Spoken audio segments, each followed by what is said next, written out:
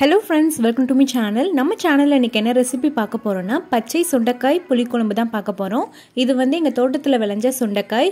பாருங்கள் எவ்வளோ ஃப்ரெஷ்ஷாக இருக்குன்னு நான் அப்படியே பறிச்ச உடனே குழம்பு வைக்க போகிறேன் ஃபஸ்ட்டு சுண்டைக்காய் வந்து ரெண்டாக கீறி விட்டுக்கோங்க. ஃபுல்லாக கட் பண்ணாமல் லைட்டாக நடுவில் மட்டும் கீறி விட்டுக்கோங்க. அப்போ தான் அந்த புளிக்குழம்போட டேஸ்ட் வந்து சுண்டைக்காயில் இறங்கும். குழம்பு அவ்வளோ டேஸ்ட்டாக இருக்கும்.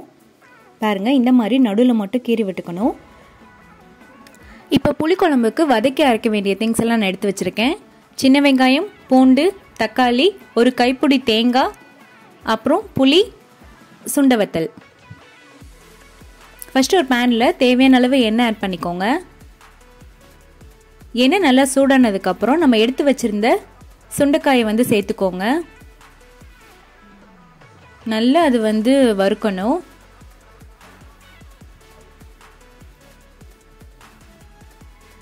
பாருங்க நல்லா வதங்கும் போது கலர் சேஞ்ச் ஆகுது பாருங்க. வறுத்துக்கிட்டே ஒரு பத்து நிமிஷத்துக்கு வறுத்துக்கிட்டே இருந்தீங்கன்னா இந்த மாதிரி உங்களுக்கு கலர் மாறும். அப்போ வந்து நல்லா வதங்கிருச்சுன்னு அர்த்தம். இப்போ ஒரு பாத்திரத்தில் எடுத்து வச்சுக்கோங்க. இப்போ அதே பேனில் நம்ம எடுத்து வச்சுருந்த பூண்டு சேர்த்துக்கோங்க. பூண்டையும் வந்து நல்லா அந்த பச்சை வாசம் போகிற வரைக்கும் நல்லா வதக்கிக்கோங்க.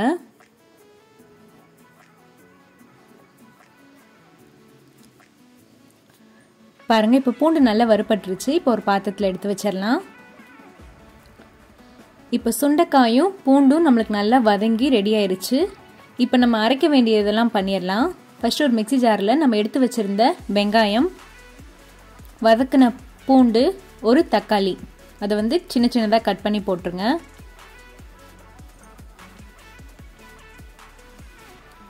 ரெண்டு ஸ்பூன் சீரகத்தூள்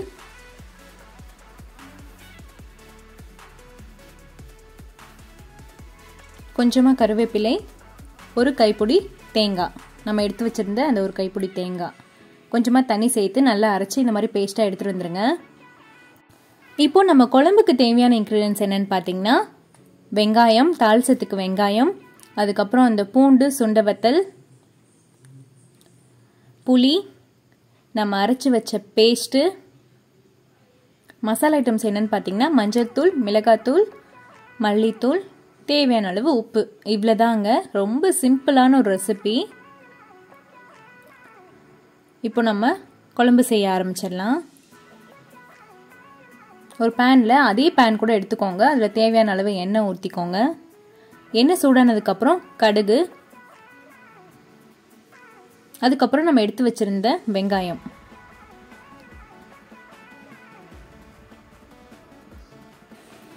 இப்போ கொஞ்சமாக கருவேப்பிலை சேர்த்துக்கலாம். இப்போ வெங்காயம் வந்து அந்த எண்ணெயில் நல்லா பச்சை வாசம் போகிற வரைக்கும் நல்லா வதக்கிக்கணும். பாருங்கள் வெங்காயம் நல்லா வதங்கிட்டு வருது.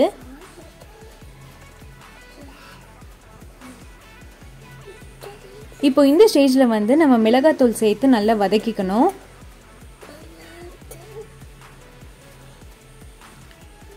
மிளகாத்தூள் அந்த பச்சை வாசம் போகிற வரைக்கும் ரெண்டு நிமிஷம் வதக்கிட்டு நம்ம மிச்சம் இருக்க மசாலாலாம் சேர்த்துக்கலாம். மல்லித்தூள் மஞ்சள் தூள் சேர்த்துக்கோங்க. இப்போ எல்லா மசாலையும் ஒன்று சேர்த்து நல்லா வதக்கிக்கணும்.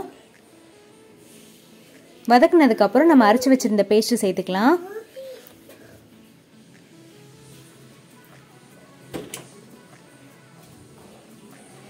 நல்லா கலந்து விடுங்க.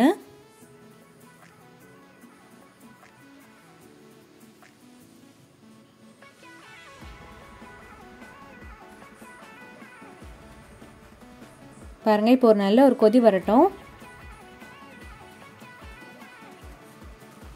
ஒரு கொதி வந்ததுக்கப்புறம் நம்ம புளித்தண்ணி சேர்த்துக்கலாம். வடிகட்டின புளித்தண்ணி. நல்லா கலந்து விடுங்க. இப்போ நம்ம வதக்கி வச்சிருந்த சுண்டைக்காயும் பூண்டும் சேர்த்து நல்லா கலந்து விடுங்க.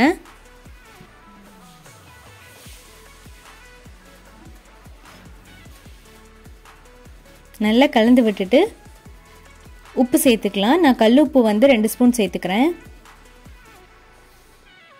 உப்பு பார்த்துட்டு கூட சேர்த்துக்கோங்க. இப்போ கொஞ்சமாக நம்ம தண்ணி சேர்த்துக்கலாம். இப்போ டேஸ்ட்லாம் பார்த்துக்கோங்க. உப்பு காரம் எல்லாம் கரெக்டாக இருக்கான்னு பார்த்துக்கோங்க. கொஞ்சம் கம்மியாக இருந்துச்சுன்னா இந்த ஸ்டேஜில் நீங்கள் சேர்த்துக்கோங்க. பாருங்கள் இப்போ குழம்பு நல்லா கொதிச்சு ரெடியாகி வந்துருச்சு.